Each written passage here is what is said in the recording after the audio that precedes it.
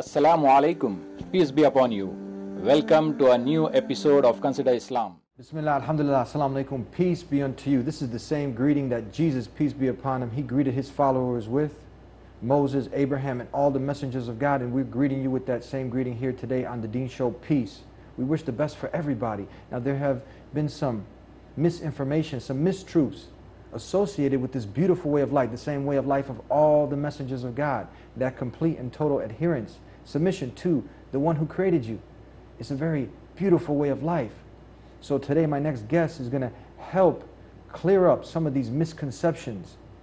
It's going to help tackle some of the mistruths that are out there so you can get a better picture about this beautiful way of life. The way of life, as I said, that Jesus practiced, Abraham, Noah, that way of life that tells you what the purpose of life is, where you're going when you die, gives you peace and contentment, gives you success not only in this life, but in the next. My next guest here on The Deen Show, Sheikh Khalid Yasin.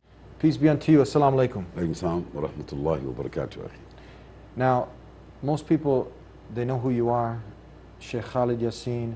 Can you just for a minute, for those of our non-Muslim, the not yet Muslims, who are out there viewing this, and we really cater to them. We really want them to get a better picture of the beautiful way of life that we live and to share this beautiful message of peace with the world. So you've been um, out there lecturing people, uh, uh, delivering the, the, the message of the purpose of life. You used to be a for, former Christian, is this true? That's correct. Yeah. And, and you're still following the way of Jesus, is this right? Absolutely. H- how is that? Is that, is that, am I twisting the truth or is this No. 100% the truth? Uh, Jesus, Jesus uh, was, uh, was not, um, uh, Jesus didn't appoint himself. Uh, uh, Jesus uh, did not worship himself. Jesus was following the mandate of the Creator. He said, um, if anybody wants to go to the Bible, he says, um, I can of my own self do nothing. But whatsoever I'm ordered to do from the Most High, uh, that is what I do. So uh, this best personifies the position of Jesus Christ as a prophet and a messenger. And so it's his values. It's the, it's, it's the, it's the values of his mission and his message uh, uh, that we are still uh, um, affirm, confirming and uh, attesting to uh, as Muslims. And uh, he was one of those who submit to Almighty God, who had the ultimate submission. And so, uh, and before him, John the Baptist, and uh, before him, Solomon and David and all the other prophets of God, they all submitted, not to themselves, but to the Creator. So, in that sense, uh, I took the best values uh, out of the faith system called Christianity, and I've retained those values as a Muslim, but we went to another level. It's like going from high school to university. If a high school student didn't know about university, they would probably be very grateful to have a high school diploma. But if they knew about the university and the benefits that come from graduating from university, everybody will go and would go. So uh, that's the kind of way that we see ourselves. We, we feel, feel ourselves to be uh, fortunate by Almighty God to have been selected or chosen or exposed to Islam. Uh, and as such, we took the best out of the Christian uh, system, and, and we're Muslims. M- misconceptions. And we want to clear this because hopefully, God willing, then there'll be less Islamophobia. It seems to be on the rise, and education, I think, is key. And this is how then we can start to develop true tolerance and understanding. And this is what the Deen Show is about trying to help people understand the most misunderstood way of life out there. Yet, uh, it's phenomenal that it's the fastest growing way of life out there today. So, one of the misconceptions was we just covered right off the bat. We greeted each other with peace. That's the same greeting that Jesus greeted his followers with. And we just said that Jesus was a Muslim. He submitted his will to God. That's what we do. And some people say, you know, these people are the Antichrist. How would you address this? Well, first of all, um, uh, you know, that's a very subjective statement uh, that people make because somebody else has branded that and they're just repeating that. Um, but Jesus was the Messiah.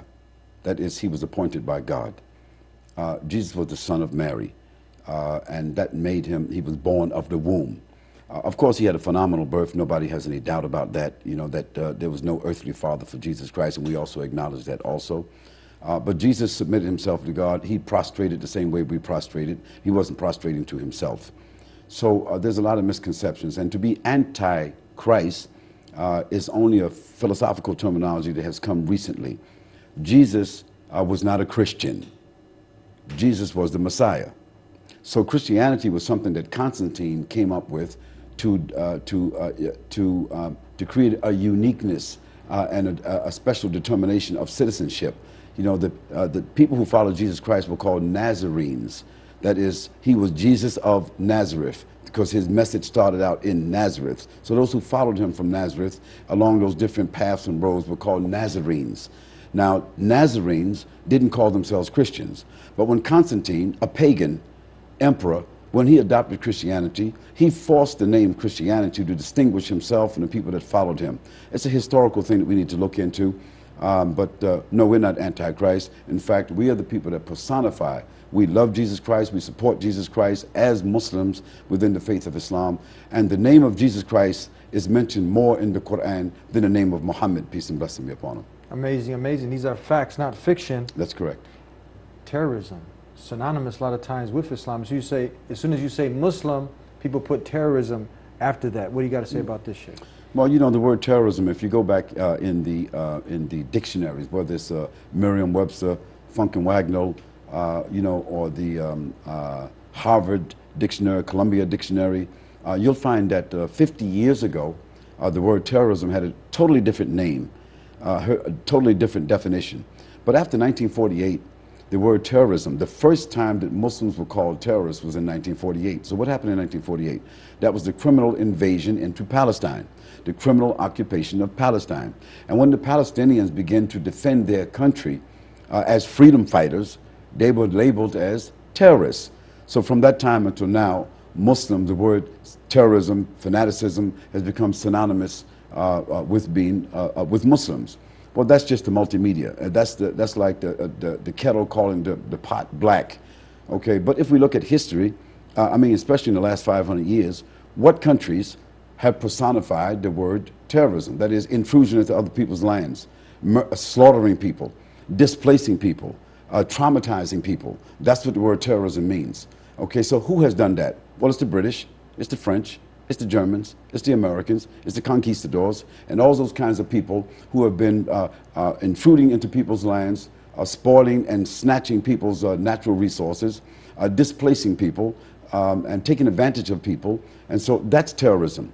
So I would say that um, the 43 million people who have been displaced uh, by this kind of terrorism in the last 500 years, it goes to say that sometimes the people who call people terrorists are really the ones who are spreading uh, uh, historically terrorism.